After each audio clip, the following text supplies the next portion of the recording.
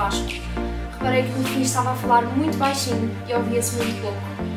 Mas eu ainda não estou muito habituada, como vocês sabem, ainda sou um bocadinho envergonhada a falar. Ainda não estou habituada à ideia de estar aqui sozinha a falar com uma câmera. Uh, e portanto, às vezes, sem querer falar baixinho ou atrapalho.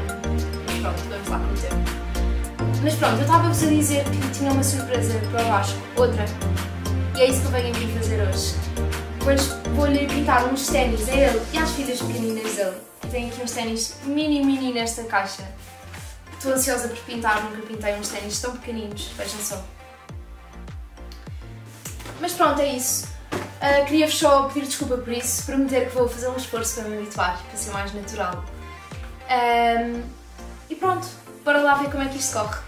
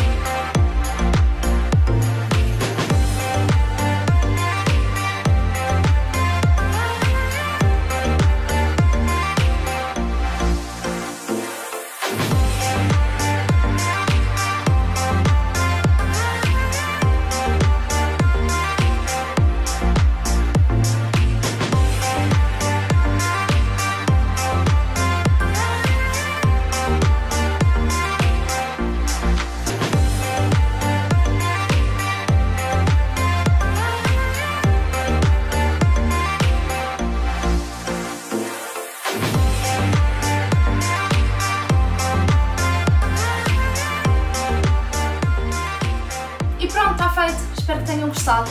Vou agora entregar-lhe os ténis e espero que ele goste também. Digam-me o que é que acharam, foi um longo dia, mas eu diverti-me imenso a fazer isto.